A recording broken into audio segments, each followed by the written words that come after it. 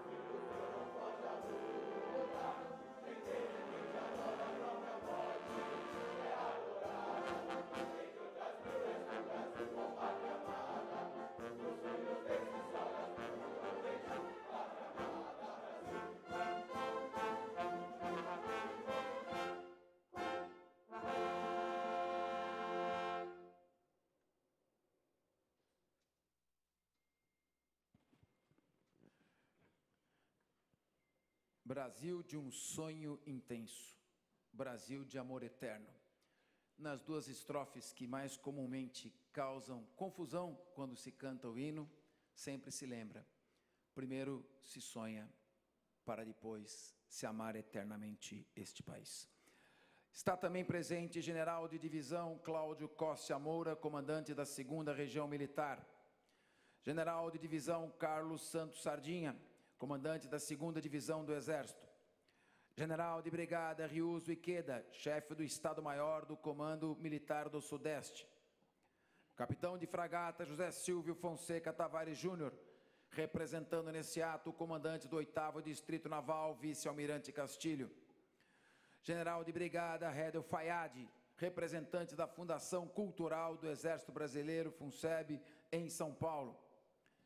Tenente Coronel Marcelo, representando o comandante do 4 Batalhão de Infantaria Leve, Tenente Coronel Malveira. Professor Josias Januário, representando o Instituto de Física da USP.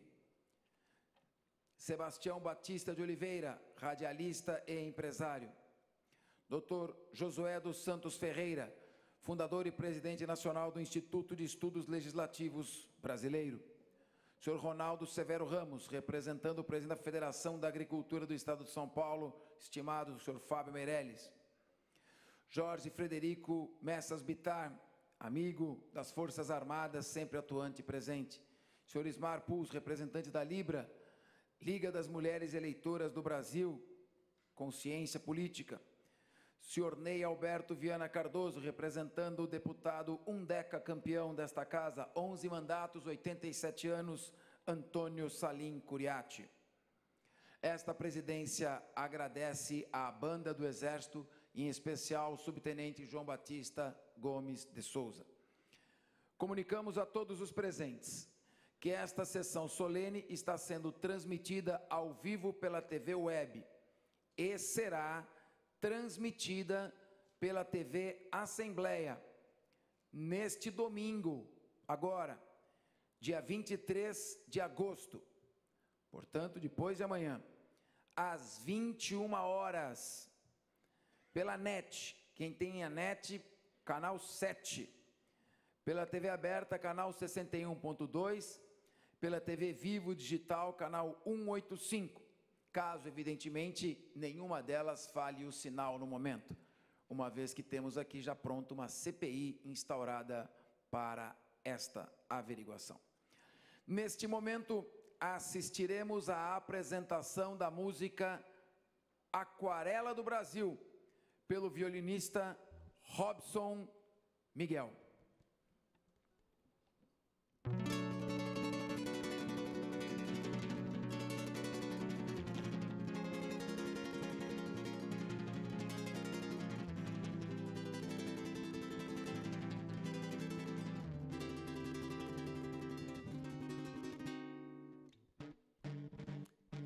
Aquarela do Brasil, falar de Duque de Caxias é falar da construção de um país que não desiste nunca.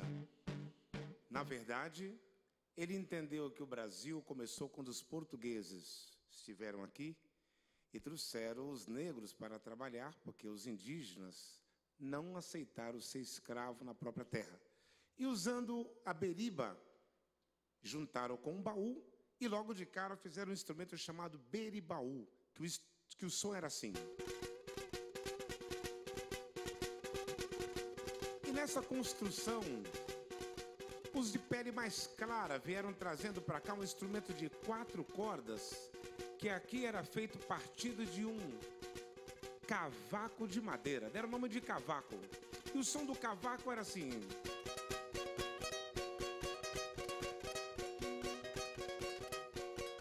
E na construção visionária de Duque de Caxias, faltava lembrar que pegando a cuia do índio, entrando também, apareceu a cuíca, que o som era assim.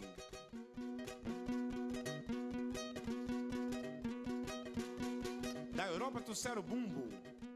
Da África também, também entrou, opa, a coisa ficou boa.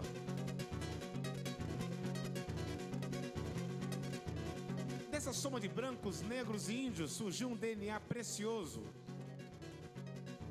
do povo brasileiro, que juntos formamos as cores da nossa aquarela do. Brasil!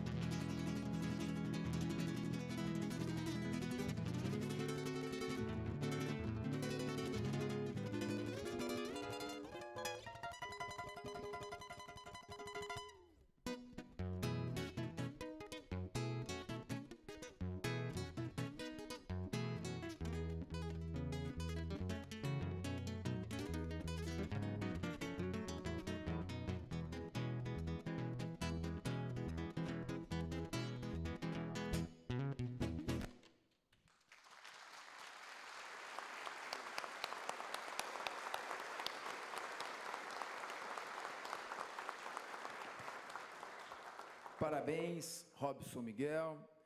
Essa música alegre lembra também um dos maiores méritos pelos, pelos quais, pelo qual nosso país é reconhecido. O país maior e mais importante do hemisfério sul. O país maior e mais importante da América Latina. É um exemplo para o mundo, pois nenhum país com tamanha dimensão continental consegue conviver em paz com todos os seus vizinhos. Isso faz parte do espírito conciliador e harmônico do povo brasileiro. A guerra só nos causa dor. A paz nós queremos com fervor, embora estejamos sempre prontos a defender a nação querida. Parabéns, Robson. Neste momento, assistiremos a um vídeo institucional do Exército Brasileiro.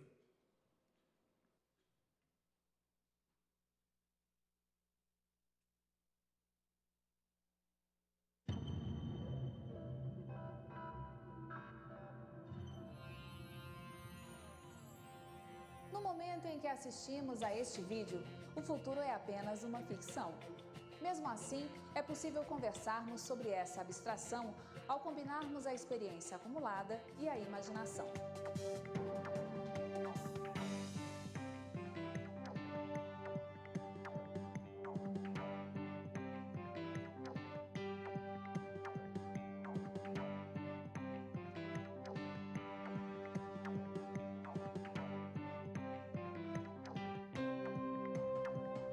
Combinação de ciência, tecnologia e inovação sempre foi um dos grandes divisores das civilizações.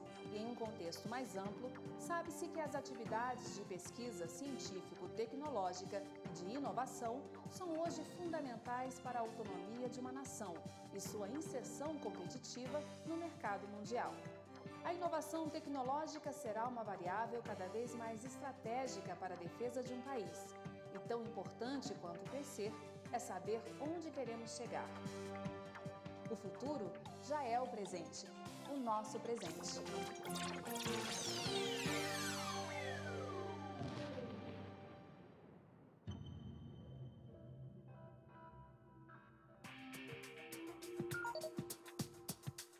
A missão do Departamento de Ciência e Tecnologia é desenvolver pesquisas e estudos que se traduzam em geração de conhecimento, novas tecnologias e também na criação de produtos, processos, gestão e patentes nacionais.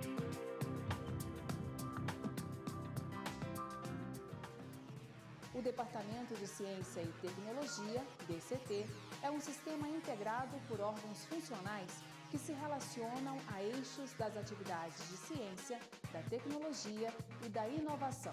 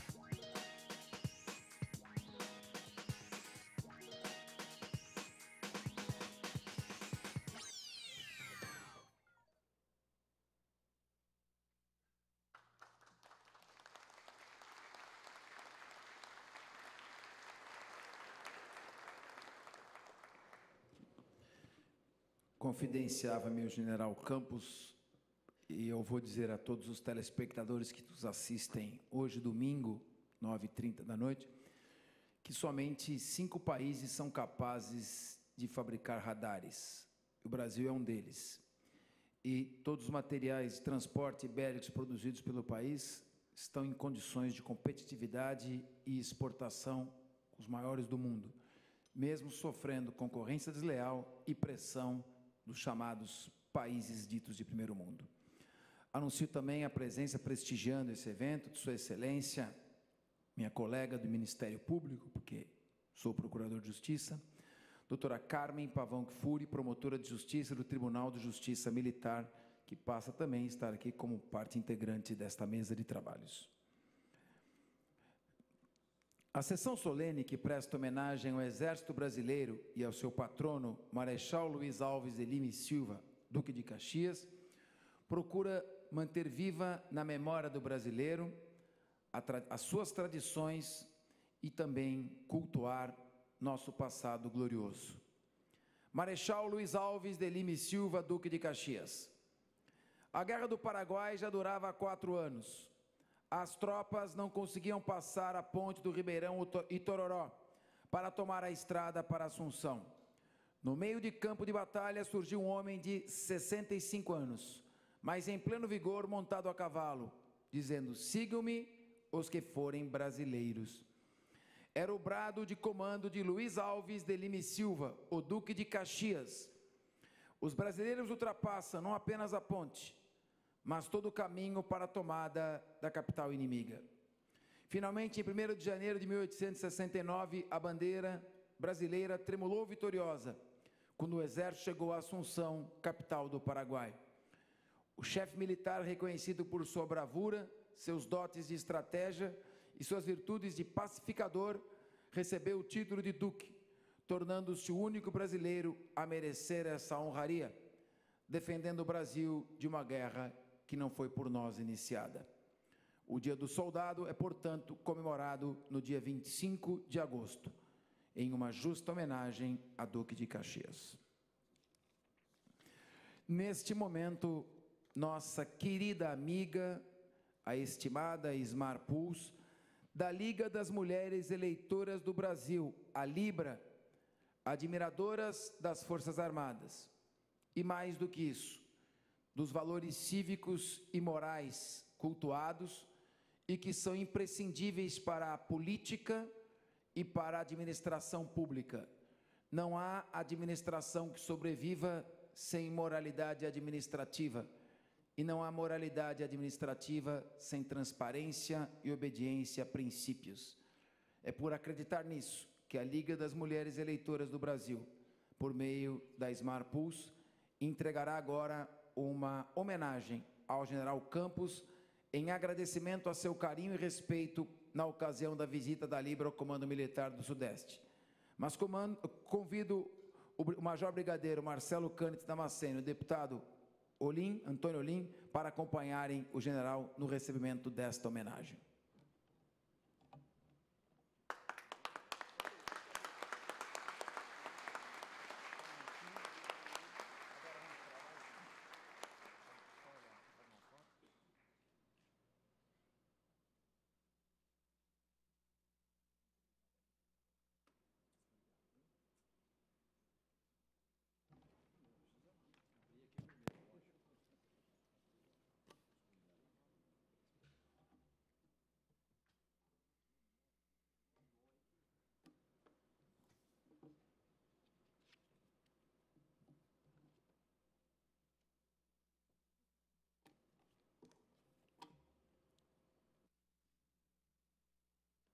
Neste momento, passo a palavra a este grande amigo do povo paulista, grande amigo da Assembleia Legislativa do Estado de São Paulo, Major Brigadeiro do Ar Marcelo Cânitz Damasceno, comandante do 4 Comando Aéreo Regional. Tem a palavra, Vossa Excelência.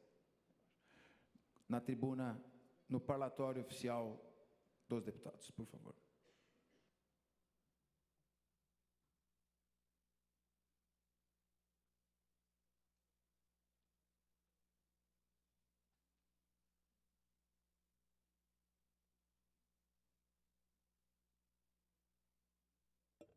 Presidente Fernando Capês, em nome de quem cumprimento a todos nessa bela sexta-feira, que considero o início das comemorações da Semana do Exército. É, Geral Campos, nosso amigo, dileto companheiro, orientador das atividades militares do nosso Estado, a quem com certeza eu, pela aeronáutica, tenho certeza absoluta também que a Marinha muito lhe deve pelas orientações para que tenhamos aqui consenso nas ações militares. O pressuposto do Exército é a massa. A Semana do Exército, por, por, esse pressuposto, indica que nós devamos homenagear a todos os 200 mil militares, homens e mulheres, que fazem do Exército, com absoluta certeza, o emblema maior da defesa do nosso país. Mas o Dia do Soldado pressupõe também uma certa singularidade e é isso que eu acho que me obrigo a tratar mais especificamente. O Dia do Soldado nos traz à memória, já dito aqui para o nosso presidente algumas vezes, a figura do Duque de Caxias, o maior soldado da história brasileira. E temos outros três grandes soldados que representam as forças básicas do nosso exército: Sampaio, patrão da infantaria, do comandante do Exército, General Vilas Boas, Osório, Marquês do Erval, patrono da cavalaria do nosso general Sardinha, e Malé, um homem nascido em Dunkerque, na França, mas com espírito e cidadania brasileira, patrono da artilharia do nosso general Moura aqui presente.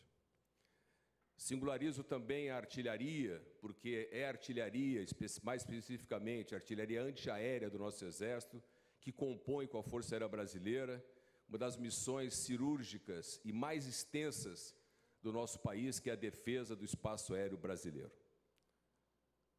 E ao falar de artilharia, e ainda no campo da singularidade, eu queria chamar a atenção aqui é, para a figura do general João Camilo Pires de Campos, que se nessa sexta-feira iniciamos num evento tão belo, tão denso de emoção e civismo, as comemorações do Dia do Exército, na próxima sexta-feira teremos a mesma intensidade, mas com um pouco mais de amargor, quando ele se despede do Comando Militar do Sudeste e deixará uma lacuna bastante grande.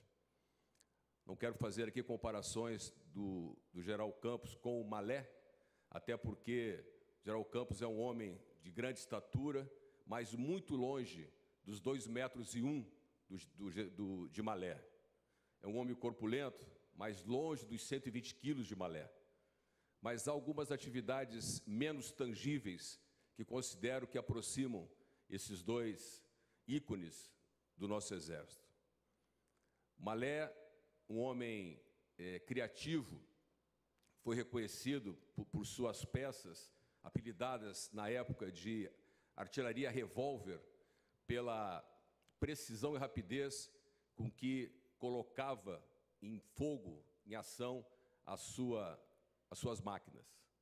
O ano passado, Geral Campos, liderando uma imensa equipe de militares, com a mesma rapidez e a mesma precisão, conseguiu congregar a todos e fazer com que a FIFA reconhecesse nesta equipe de segurança a equipe mais preparada, com os melhores resultados de segurança terrestre a todas as delegações que se instalaram em São Paulo, e São Paulo foi aquela que teve o maior número de delegações na Copa do Mundo.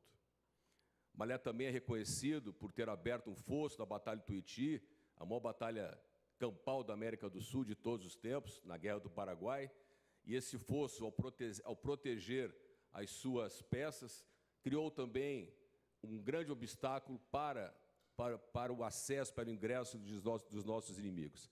E vai aquela bela frase reconhecida dentro da área militar, que, que eles venham, por aqui não passarão. Tenho certeza, se estivéssemos em guerra, ou se entrarmos em guerra, qualquer momento desse, o general Campos será chamado para ser o malé do momento, abrirá grandes fossos mais rápidos, maiores, com auxílio da engenharia do, do general Iqueda. Mas estamos em paz, reinamos ainda em paz. General Campos, por ser um militar humanitário, é, historiador, tenho certeza que ele faz o contrário, tem tapado os fossos que dividem a sociedade civil e militar, coberto os fossos, criado pontes e trazido a sociedade para dentro do Comando Militar do Sudeste. Sou prova disso de todas as solenidades em que a sociedade civil, ciosa de conhecimentos, de formações, de ouvir um homem culto, acercam aquele palanque, minimamente com centenas de pessoas, por vezes mais de milhares de pessoas, para ouvir um pouco da história do Exército, que, a bem da verdade, é a história do nosso país.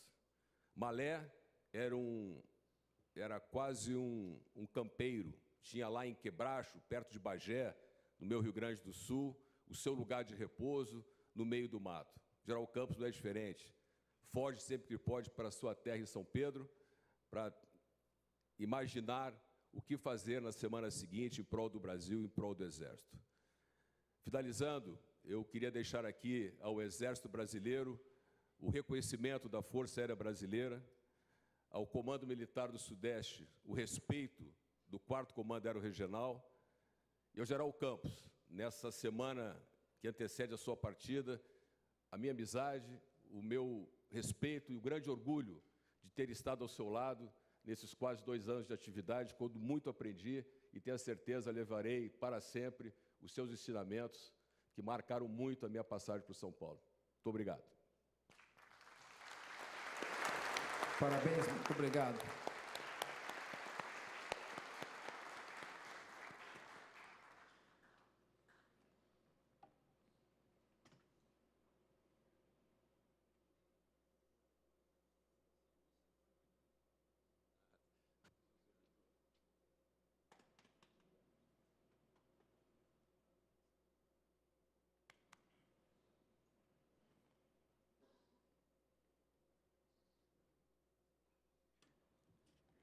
Neste momento, assistiremos a outra exibição do nosso querido músico violinista Robson Miguel, com o tema da vitória.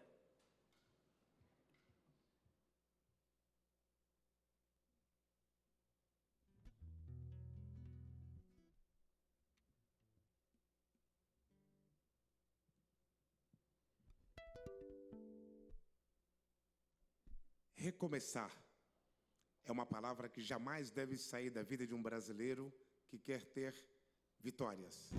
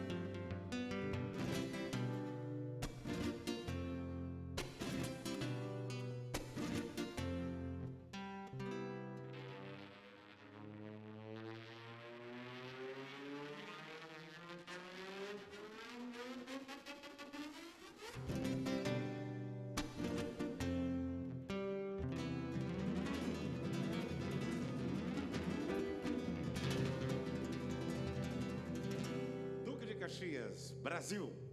Bravo, bravo.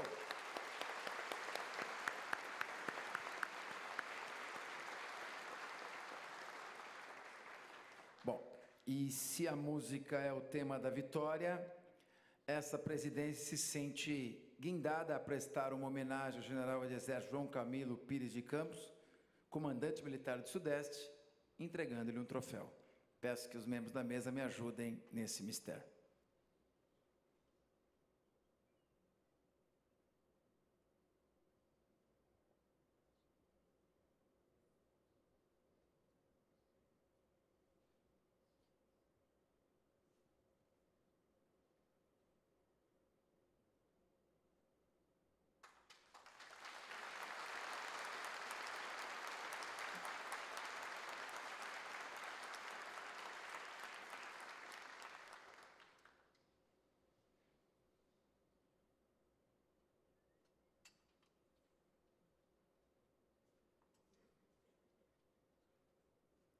Com a palavra, senhor general João Camilo Pires de Campos.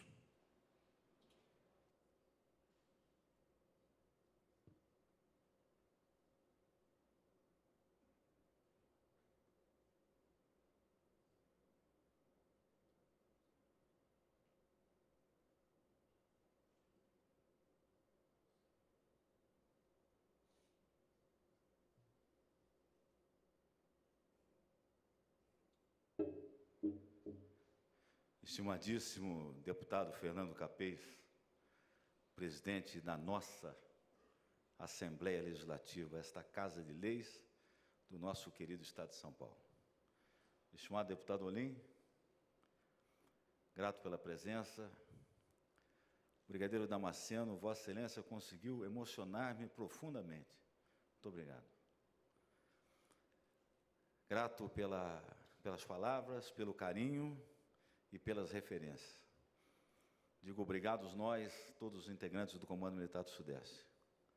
Senhor Pulso, muito obrigado pela, pelo presente, pela lembrança. Deputado Capês, mais uma vez, obrigado por esse belíssimo troféu, aonde a Assembleia Legislativa do Estado de São Paulo, representando os civis presta homenagem ao Exército Brasileiro e ao seu patrono, Luiz Alves de Lima Silva, e onde o Exército Brasileiro, representado por esse comandante militar de área, são duas mãos que se apertam, duas mãos que se integram, duas mãos que congraçam. É um símbolo tácito da amizade clara, patente entre civis e militares nesse nosso querido e amado Brasil. Honrados nós por estarmos nesta tribuna representando os 25 mil homens e mulheres que compõem o Comando Militar do Sudeste. Para falar um pouco de Luiz Alves de Lima e Silva, um dos mais insignes brasileiros e que faz aniversário no dia 25 de agosto, como dito pelo nosso deputado Fernando Capesa o nosso Duque de Caxias, o nosso patrono, o patrono do Exército Brasileiro. Patrono significa padrão.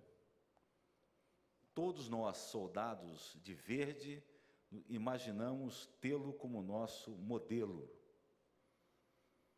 Devo agradecer esta belíssima homenagem que anualmente a Assembleia Legislativa do nosso Estado presta a essa figura que personifica o espírito do exército de todos nós.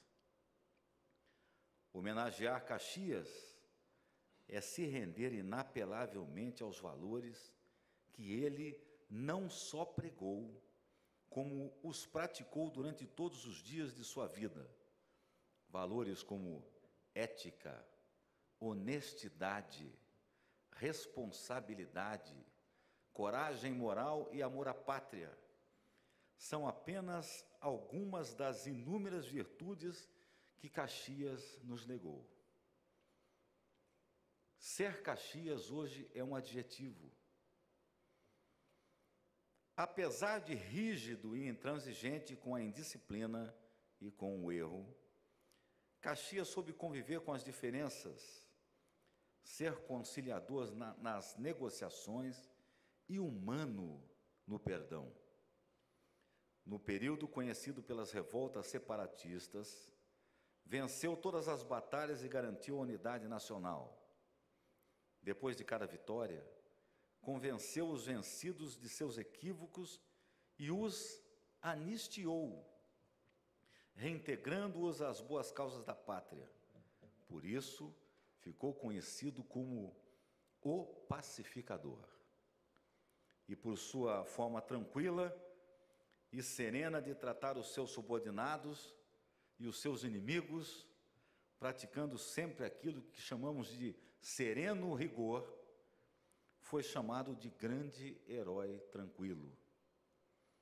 A ligação de Caxias com São Paulo se dá na Revolução Liberal de 1842, quando o Marechal, mais uma vez, venceu os revoltosos. No entanto, sua vitória se deu de forma tão tranquila que nenhuma mácula restou. Antes, pelo contrário, ficou a admiração e o respeito que o povo paulista dedica ao herói nacional. Tanto o é que em 1941, praticamente 100 anos depois, o povo paulista liderado pelo seu prefeito Prestes Maia, pelo arcebispo Dom José Gaspar e pelo comandante da segunda região militar, general Maurício Cardoso, mandou erguer na Praça Princesa Isabel a maior estátua equestre do mundo em homenagem ao Duque de Caxias. Até os operários de São Paulo contribuíram com 5% de seus vencimentos para que esse monumento fosse erigido. No campo internacional, Caxias comandou as forças da Tríplice Aliança na guerra contra o Paraguai, como foi demonstrado pelo deputado Capês no seu mais legítimo e espetacular episódio. Imagine um homem de 65 anos, à frente de milhares de homens, partir em direção ao inimigo, montando o seu cavalo e dizendo: sigam-me os que forem brasileiros. O seu cavalo é abatido nesse evento, deputado Capês. E ele chega do outro lado, correndo com a sua espada em punho. Ao seu lado, logo em seguida, posta-se o seu fiel escudeiro, Osório. Desde então, o Exército Brasileiro vem seguindo os ensinamentos de seu patrono. Nos dias de hoje, continuamos a agir movidos pelo ideal de paz, que é o objetivo de todo o Exército. Mormente, o Exército tem como patrono o pacificador. Assim, é que desde o ano de 2004, portanto há mais de 10 anos, o Exército Brasileiro detém o comando geral das forças de pacificação no Haiti. Além disso, cumprindo fielmente nossa missão constitucional, nossa destinação constitucional, temos agido em colaboração com as forças de segurança na garantia da lei e da ordem. Nesse contexto, participamos ativamente do esquema de segurança da Copa do Mundo 2014, que foi considerada a melhor segurança de todas as Copas e agimos como uma força de pacificação no complexo do Alemão e no complexo da Maré. E estamos prontos para atuarmos de aqui a um ano nos Jogos Olímpicos 2016. Neste momento, quero abrir um parêntese para render homenagem a outro herói nacional. Este, um herói contemporâneo. Trata-se do terceiro sargento Michel Augusto Mikami, que foi morto em ação de pacificação no Complexo da Maré, em 28 de novembro do ano passado. Foi a primeira morte em combate, em patrulha de combate em ambiente urbano, do Exército do Brasil, desde a Segunda Guerra Mundial. A morte do sargento Mikami, no entanto, antes de nos trazer sentimentos de revolta e desejo de vingança, faz-nos retornar aos ensinamentos de Caxias, que sempre soube tratar com dignidade os seus inimigos.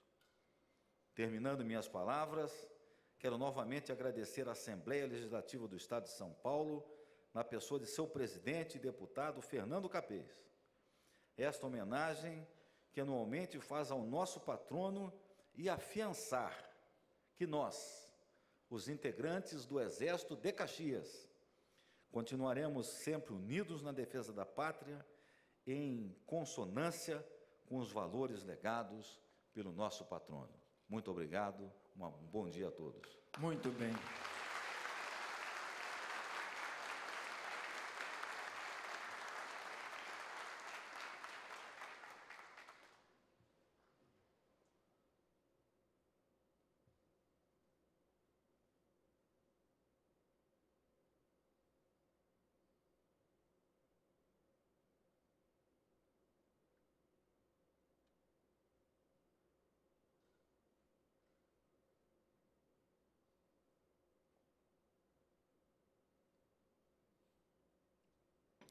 Essa experiência de integração entre sociedade civil e forças militares, desempenhada aqui na Assembleia Legislativa do Estado de São Paulo, será levada a todas as assembleias do país.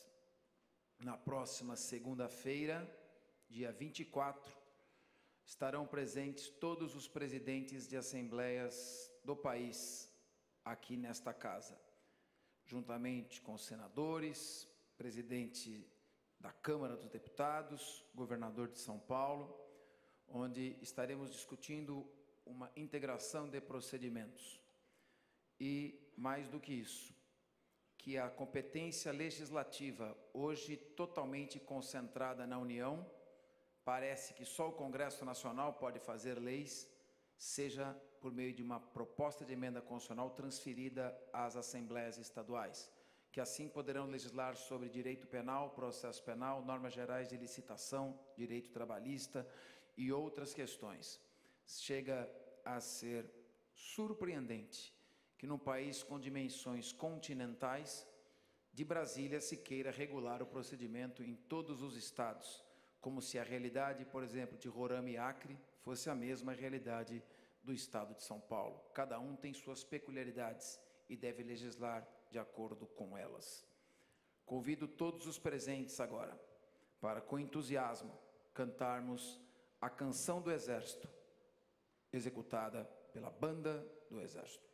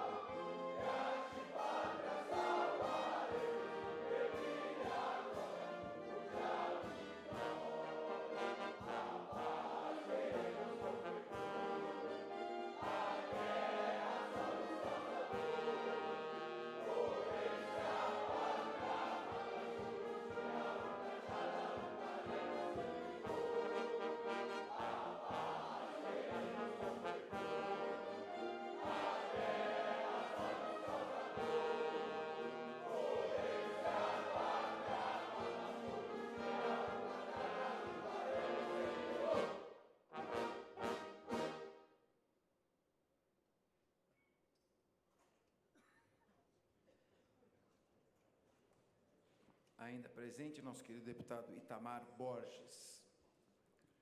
Queridos senhores militares, senhores civis, estamos chegando no epílogo desta sessão solene.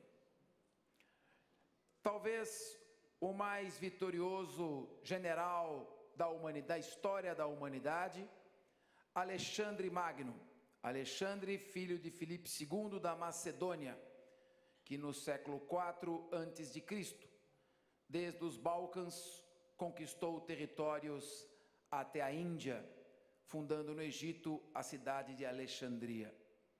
Uma breve, mas marcante e vitoriosa passagem pelo mundo. Em vida ainda manifestou seus três últimos desejos. Quando morrer, gostaria que seu caixão fosse transportado pelas mãos dos melhores médicos da época, que fossem espalhados pelo caminho até o túmulo todos os tesouros conquistados, como prata, ouro e pedras preciosas. E finalmente, que suas duas mãos fossem deixadas balançando no ar, fora do caixão, à vista de tudo. Indagado por um de seus generais o motivo de tais desejos insólitos, explicou: Quero dizer a todos que nenhum médico ou pessoa humana tem poder de cura sobre a morte. Que todos os bens materiais que aqui em vida acumulamos e conquistamos, aqui permanecem. E quero que minhas mãos balancem ao vento, para que todos vejam que de mãos vazias chegamos a este mundo e que de mãos vazias dele partimos. Numa sociedade materialista, em que vivemos uma depravação de valores, motivada pelo desejo de acúmulo de bens materiais a qualquer custo, pelo desejo de tomar atalhos, caminhos mais fáceis para atingir objetivos que nada mais são do que satisfação de ganância, vaidade e prepotência, aqueles valores do ser, da evolução de se doar ao próximo, ficaram relegados a um segundo plano. Nisso avulta a necessidade de mantermos permanentemente vivas nossas tradições e a chama dos valores éticos. E esses valores são encontrados à saciedade nas corporações militares. Falíveis são os seres humanos, ninguém é perfeito, e nenhuma instituição, como reflexo de seus seres, atinge a perfeição. Mas em seu bojo, em sua imensa maioria, as Forças Armadas expressam esses valores essenciais ao Estado democrático de direito. Todas as profissões são belas, senhores, mas a do militar tem algo de especial. Ele é o único formado para, se necessário for, doar a sua vida em serviço ao semelhante e à pátria. E não há maior sentimento de amor e solidariedade do que fazer o gesto supremo de sacrificar a própria vida em prol de seu semelhante. E é por isso que esta sessão solene sempre será realizada aqui na Assembleia enquanto eu nela permanecer.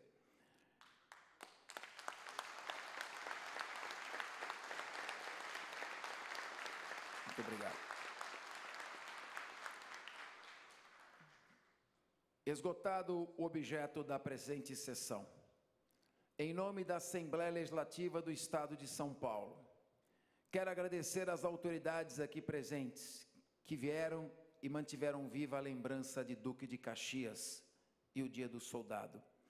Quero agradecer aos funcionários desta casa que se esforçaram e se esmeraram em cada detalhe para esta sessão solene. Quero aqui que a chefe do cerimonial Vera e a assessora Delmíndia Costa sejam portadoras em nome dos servidores destas homenagens. Quero parabenizar os deputados Olim e Tamar Borges que prestigiaram e todos os demais que colaboraram para o êxito desta sessão. Está encerrada a sessão ao som de Robson. Amigos para sempre. Está encerrada a sessão. É a banda que vai tocar? O Robson toca com a banda. A banda vai executar Amigos para Sempre. E o Robson acompanha.